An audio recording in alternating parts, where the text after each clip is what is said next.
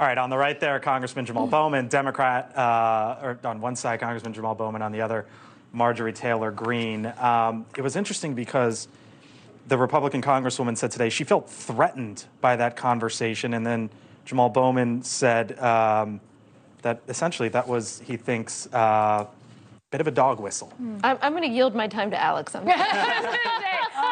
I'm Like, and I just have to talk this one out. This is why this is why we head on over to the White House right now, right? there is actually a long history of when white women have accused black men of things like that, of some really terrible things happening. And so I don't think it's appropriate, especially when you see that video. You know, if you're threatened by that, that seemed like a exchange that was done in fun. She's even laughing. They were both laughing at it. Yeah, at- I don't understand Throughout. I- it was like they were there before the cameras. And AOC was the peacemaker in this, right? The, the, Well, it started with AOC and, Oh. and then went to these two. It was, it was quite the crew. Um, speaking, though, real quick, of Marjorie Taylor Greene, she's put forth articles of impeachment against Joe Biden. We, we asked you about Yeah. this at the top of the show. Do you make anything about it? Yeah, no, I, I, look, I think that, again, we saw what happened when we went to the impeachment of Donald Trump, and I think had we waited until he, um, you know, tried to overthrow the Republic with January 6th, it probably would have been more effective. And so, again, you've got Marjorie Taylor Greene talking over and over about impeachment. It's not going to help the Republicans' case if there was an impeachable offense, Speaking- because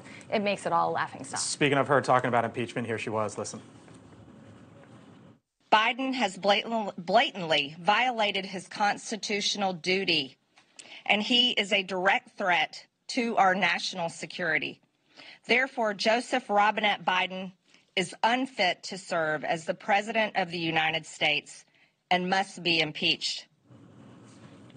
Dropping the middle name, Robinette, in the middle there. Uh, Alex, you know, at the White House, they kind of just shove this brushing stuff it off, off. to the side. They're saying, you know, oh, so Marjorie Taylor Greene thinks that Joe Biden's a national security threat. What about her uh, wanting to defund the FBI or saying uh, in remarks that she would have brought a gun to the January 6th riot and, and things like that? So they're really, they are pushing back. They're not totally brushing it off and ignoring her, which I found interesting, but I think they love, you know, taking her on and, and trying to stir up their base on that. Indeed, they do.